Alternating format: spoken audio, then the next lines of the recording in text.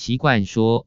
作者刘荣，刘荣，一八一六年到一八七三年，字梦荣，号霞仙，清代湖南省湘县人，是桐城派古文学者，生员出身，参与平定太平军之战。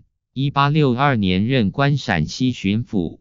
荣少时读书养会堂之西篇一事，勉而读，养而思，思而服的，折起，绕室以旋。是有蛙尽尺，尽淫日广，每履之，足苦至焉。既久而遂安之。一日复来室中，故而笑曰：“一事之不至，何以天下国家为？”命童子取土平之。